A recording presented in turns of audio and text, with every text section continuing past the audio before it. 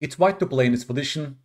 Please check whether bishop takes f5 is a good move or a blunder. Now, I'm not a quantum physicist, so take what I'm saying with a grain of salt. But I have some intuition about a thought experiment called Schrodinger's cat. In quantum mechanics, Schrodinger's cat is a thought experiment that illustrates the paradox of superposition. Imagine a cat is sealed inside the sealed box and there's a mechanism inside the box that has 50% chance of killing the cat. Now, until we open the box and see the cat's status, we have to accept that the cat is both alive and dead. That's the paradox of superposition. We have to imagine until we open the box and see the cat that the cat is both living and dead. That's the original paradox when it comes to Schrodinger's cat. So what lesson? A state of uncertainty exists until the box is open and outcome is observed. What am I talking about? Why am I talking about the cat, Schrodinger's cat in a chess video, guys? Well, I will make a maybe a far-fetched analogy, but I think there's some point to it. In chess, a move can be considered both good and bad until fully calculated. As in this example, folks, bishop takes f5 is both a good move and a bad move until you come to a clear conclusion by carefully going through a blunder check process. Please blunder check the move bishop takes f5 folks. What are you seeing? We keep talking about loose pieces in chess.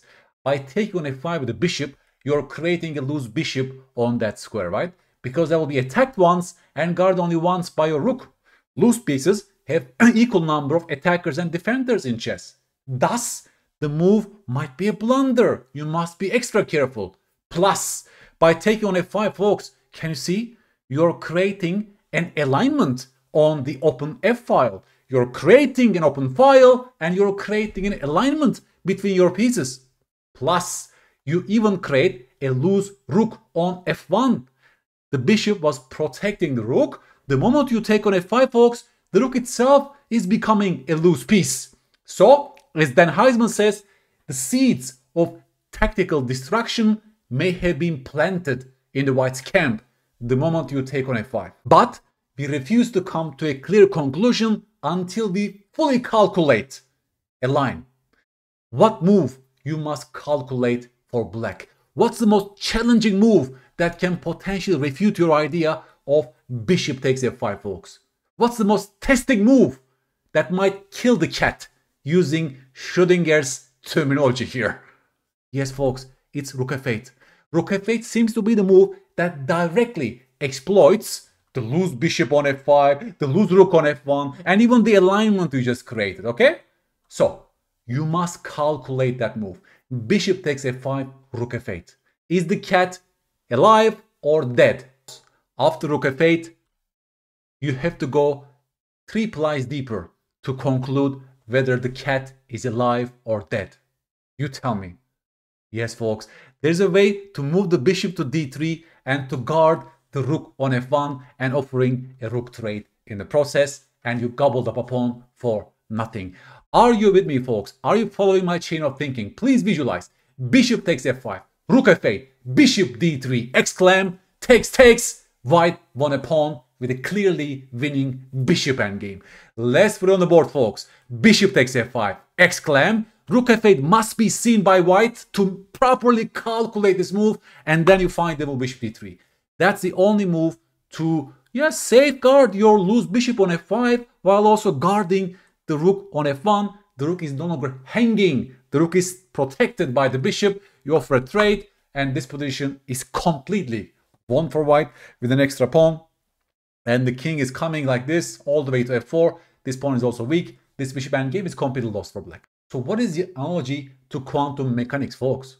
Well, until you fully calculated that line I showed you, bishop takes f5 should be considered both a good move and a blunder at the same time. It looks good, I'm winning a pawn, beautiful looking move, but it might also be a blunder because rook f8 is coming to potentially exploit the loose pieces and the alignment you just created, right? So to be able to open the box properly and see the health status of the cat, you have to go three plies deeper in this case. The reason I talk about Schrodinger's cat and science for this blunder check process is very simple, folks. To me, blunder check process resembles the scientific approach the most, right? You see counter evidence from the world, just like a scientist, before you calculate this move and properly blunder check your move. What does this mean, blunder check? You're trying to falsify your ideas. You're searching for the best move for the opponent. You're aware of the potential drawbacks of your very move. Just like scientific approach, scientists don't seek for confirming evidence from the world. They seek counter evidence from the world before accepting a hypothesis, right? Just like in science, just because a move looks good, you can't play it impulsively. Then you're opening yourself for disasters and blunders. One more example, folks, from my blunder check course. Should black play bishop d3 or bishop b3 in this position? Please observe the situation. It's black to play. There is one move that wins for black. The other one is a terrible blunder. But even the terrible blunder looks like a beautiful move at first sight. Okay? Please go through the process, folks. Can you see? The rook on c1 is a loose piece. The bishop on c2 can become a pinned piece on the next turn. We, our goal as black is to exploit the loose rook on c1 and the alignment on the c file. That's our tactical goal from this position. But one approach is a game losing blunder. The other one is winning this game, folks. You tell me. Well, you're a great player, folks, if you want to move bishop d3 in this position. Very simple. You don't give a check to white. There is no way for the white bishop to move and give a check to exploit the loose rook on c8 and you win the game on the next turn. If they take the bishop, we have an extra exchange with a winning position. Can you see? Bishop b3 also looks identical, looks like the same idea. I want to win an exchange and win the game. At first sight, it looks like a beautiful move, right? But you have to tell me whether the cat is alive or dead after the move bishop b3. We have to consider this move as both good and bad using Schrodinger's analogy until we properly calculate the best response for the opponent. Okay? The biggest difference, folks, is you're allowing bishop h7 check and they're exploiting the loose rook on c8 in this position. And it's white who has the extra exchange with a winning position. So the cat is living after bishop d3, but the cat is dead after bishop b3. It's also so beautiful, right? Like if you go to if you go to Puzzle Rush, you keep finding puzzles like this that always work for you, right? You're training the concept of, of a pin in those tactical puzzle books that always work for your side. You don't actively search for counter evidence from the world before engaging in those puzzles. So you, of course, you see a good idea like this. Yay! Bishop b3, I'm winning, pinning and winning, yay! And then blunders happen in the process. So What's the biggest conclusion from this? Prove yourself wrong. Don't prove yourself right. One more beautiful position, folks. It's white to play in this position. White has great concentration of the pieces on the king side.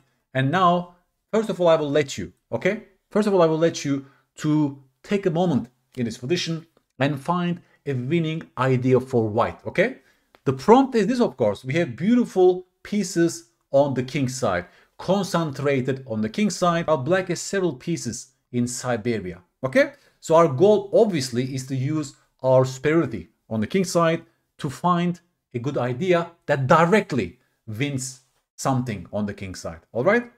Assuming you spend some time in this position, folks, I will give you the first prompt that will make it easier for you to spot the winning idea. Have you seen the knight fork potential in this position, folks? This f6 square is the key square that if a knight lands on f6, then the game is instantly finished. So our goal might be to, let's say, remove the pawn on g7, force it to move potentially, or even maybe to capture it directly into moves using this tactical alignment between our knight and the queen and the king. Okay? So the winning idea involves you disturbing that pawn and allowing knight f6 ideas. Please take a stock and generate several candidate moves that speaks to this idea. Folks, Once I give you this prompt, I think these two ideas come to your mind, right? Just like in Schrodinger's cat, we have a fork. One might let the cat survive, the other move might kill the cat. All right? So it's now your turn to decide which one is a winning idea and which one is a terrible blunder. All right? Bishop f6 or bishop h6. Spotting an idea is one thing. Blunder check is an independent and the final step that we always need to conclude our ideas with. Chess calculation always ends with this proof stage, blunder check stage. All right? Right? Bishop f6 or bishop h6. Folks, you're a great player if you found the move bishop h6. That's the move that directly wins for white in this position. The idea is simply to put pressure on the g7 pawn. Right now there are two attackers on that pawn and there's only a single queen that is defending. What's the point? If they grab the bishop, comes knight f6 check. And this game is completely finished. We take the queen and go for a mating attack very, very soon. Okay, so after bishop h6, the bishop cannot be captured. Can black go knight e8 to guard g7, folks? Please, very quick tactical vision. No, because knight e8 unprotects the f8 square and allows queen f8 mate. Please see this position, folks. Beautiful. Otherwise, I will take on g7, follow it up with knight f6, right? For example, any other move like knight c4, I can simply take on g7 with the bishop, introducing those ideas, not to mention those ideas, and black cannot survive in this position. Blocks white just wins directly in this position. Okay? So, then put it this way. What was wrong with the move bishop f6? Bishop f6 seems identical at first sight, right? The same idea. After bishop f6, if you take my bishop, there is still a knight fork winning the game. So it looks identical. But I want you to become like Schrödinger. I want you to become a scientist here. Guys, please seek for counter evidence from the world that can potentially refute the move bishop f6. The cat is indeed dead after bishop f6, folks. Not that you allow takes, but you allow rook f8. Please visualize. Bishop f6 creates the alignment on the f file. Bishop f6 gives the f8 square for the rook on a8, folks. You're closing down the f file voluntarily and allowing rook f8, which exploits directly the alignment you just created on the f file. By placing your bishop on f6, you create an alignment between the pieces, between the queen and the bishop, and invite the move rook f8. Suddenly, it's black who is slightly better in this position, folks. They also take away those ideas because the queen will be captured. If knight takes on g7, comes queen takes g7, and this line is actually working for black because of two extra pieces for the rook. The best move for white is probably queen g3 to pin that pawn. But here black can even go g6 folks and you can no longer take on g7 with those knight f6 ideas. And if bishop e5 in this position that they can trade the rooks and play knight e8 to stop knight f6 checks. Indeed, it's black who is slightly better in this position with an extra pawn and white's attack is not in decisive proportions. Again, look at the big picture. You found the winning idea. The winning idea involves attacking the pawn that is stopping knight f6 forks, but the execution is everything. There are two different ways that seems to be achieving your goal. One of them is a game-winning move. There is no counterplay, nothing. You keep the f-file open as well. There is no knight e8, there is no rook f8. The game is totally gone.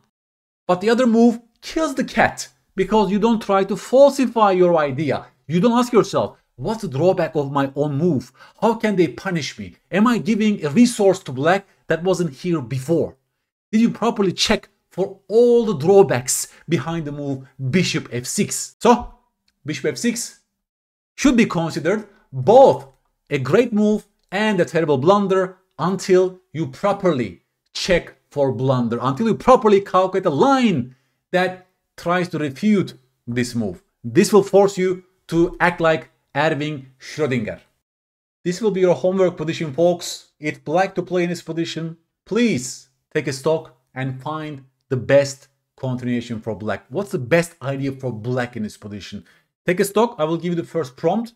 White has the extra bishop in this position, right? They have an extra bishop, but I'm sure this clumsy rook on f4 catched your eye in this position, all right? That rook is very clumsy on f4. Maybe black can win something in this position. Put it this way.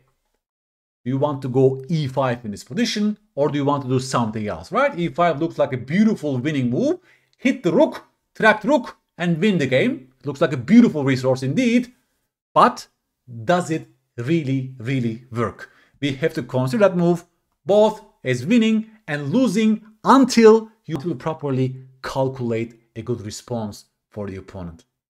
And if you think e5 is a blunder, please tell me what should black play instead, right? Write to me on YouTube, write your comments, ideas, and why that idea works for you. Chess breeds prudence, self-control, guys, don't you think? Just because an idea looks beautiful, we should not impulsively play it. We should become a scientist, seek for counter evidence from the world before accepting our hypothesis. That's the process that resembles the science most, and that's exactly why I created my course, Preventing Blunders in Chess. That will train this ability of spotting good resources, but very importantly, going through a very scientific blunder check process by actively searching for the best reply for the opponents. Many beginners never do that. They never check for the opponent's resources. They don't play chess for both colors, which you must. At any point, you should try to seek for the best move both for white and black. Many players only focus on their own ideas, right? Wishful thinking, confirmation bias, looks good, let's play it and see what happens, kind of bad habit mentality. And that will change after this specific training on the blunder check process. And this needs deliberate practice, this needs challenging task on a crucial skill as the blunder check to reframe our mind, changing our mental models and eradicating those bad habits. Cats are lovely creatures. Don't kill your cats, please. See you.